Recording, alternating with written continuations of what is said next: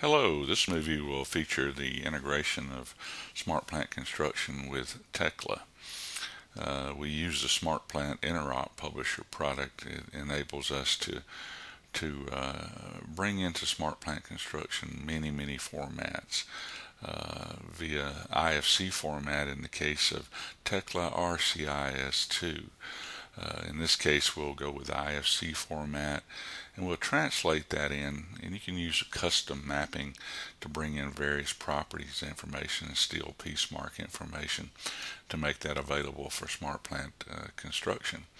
You can translate those models into smart models. We'll open it up in Smart Plant Review here real quick for a sanity check to make sure it translated uh, to our expectations.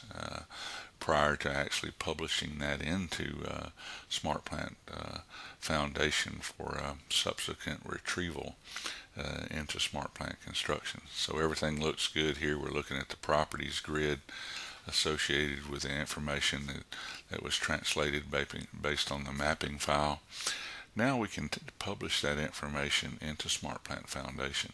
This is an important piece because now you've got revision control because uh, this model may be published multiple times and you want to be able to, to manage the revisions and understand when you've got revised models uh, as the, the design matures over time. So here we've published this model uh, into Smart Plant Foundation and now it would be available to, to be retrieved uh, uh, into smart plant construction. So with the appropriate administrative privileges, as you see here, we're logging in uh, to Smart Plant Construction and we will execute the retrieve functionality that allows us to retrieve models and drawings and, and component registries and to retrieve those and you can queue those up uh, overnight or over the weekend if you've got large models or multiple models uh, that may need to be retrieved into Smart Plant Construction.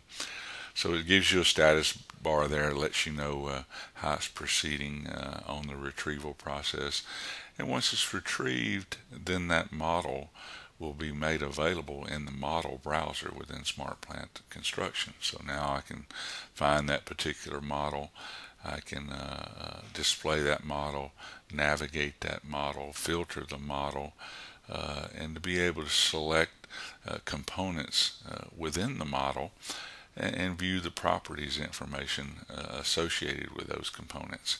And to be able to multi-select and select by volume etc for dragging and dropping uh, into work packages.